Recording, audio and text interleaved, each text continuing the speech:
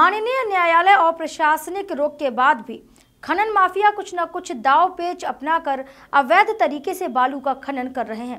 परेशानी तब हो जाती है जब अवैध खनन कर रहे वाहन किसानों के खेतों से होकर गुजरते हैं और फ़सलों को बर्बाद कर देते हैं। आखिरकार परेशान ग्रामीणों ने अवैध बालू परिवहन का वीडियो बनाया और प्रशासन को भेज दिया। देखिए पूरी खबर। प्रशासनिक सख्ती के बाद भी खनन माफियाओं पर शिकंजा कसता नहीं दिख रहा है। माफिया किसी न किसी तरीके से बालू का खनन कर रहे हैं।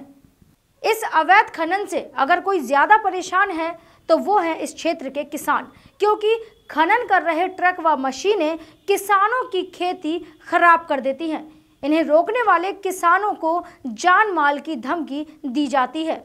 इनसे परेशान होकर मऊरानीपुर तहसील क्षेत्र के अंतर्गत आने वाले ग्राम खतौरा के ग्रामीणों ने जिलाधिकारी सहित उच्चाधिकारियों को एक शिकायत इस पत्र में ग्राम खतौरा में हो रहे अवैध तरीके से बालू खनन को रोके जाने की मांग की गई है। इसके साथ ही सबूत के तौर पर ग्रामीणों ने मोबाइल के कैमरे से बनाई गई खनन की वीडियो सीडी भी संलग्न कर भेजी है। ग्रामीणों ने माफियाओं की छुपकर खनन करते हुए वीडियो बना ली। ग्रामीणों ने बताया कि बालू का खनन गाँव के ही दबंग व्यक्ति द्वारा, मशीनों के द्वारा, असलाहा के बल पर गलत तरीके से की जा रही है। 10-20 व्यक्ति बंदूकों को लेकर घूमते रहते हैं। अगर कोई व्यक्ति शिकायत करता है तो वो जान माल की धमकी देता है। जब कोई सरकारी अमला अवलोकन के लिए जाता है तो चालाक खनन माफिया पास में सटे मध्य प्रदेश वाले क्षेत्र में मशीनों को छुपा देते हैं, जिससे अवलोकन करने वाले अधिकारी खाली हाथ वापस आ जाते हैं। सर, किसानों के खेतों से जबरन बालू के ट्रैक निकाले जा रहे हैं, उनको धमकाया जाता है। असलाधार घूमते हैं, धमकी दे करके उनके खेतों से जबरन ट्रैक्टर निकालते हैं और एलएनटी और ट्रैक मशीन सब और अगर प्रशासन जाता है कोई अधिकारी तो ये लोग मध्य प्रदेश में एलएनटी और मशीनें घुसा लेते हैं।